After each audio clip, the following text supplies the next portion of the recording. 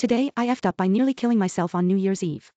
Last night I started my NYE celebrations at a mate's house. We were drinking beers and I had downed about five in an hour and a half, so I was a little drunk walking down to the carnival. Now my body build is very lean and skinny. I am considered a bit of a lightweight. I had packed six beers for myself and a liter of Jack Daniels straight. When walking down to the carnival and where there was live music, once I walked down there, I started drinking the Jack straight from the bottle which was like rocket fuel compared to the beer I was drinking. After two hours, I drank half of my Jack and I couldn't stand up and I was vomiting everywhere. Someone called the police so I was taken back to the cells where I was spewing and passed out. I had no charges laid against me. Once my parents picked me up, I was as white as a sheet of paper and I was frothing at the mouth. My grandpa who was with my parents said I needed to go to the hospital, where I got my stomach pumped and had to be assisted breathing for two hours. My blood pressure was 84 out of 45 and my heart was beating at double what it should be. I was so close to total organ failure. I woke up this morning in my own bed wondering where I was and my friend who was staying over was relieved I woke up.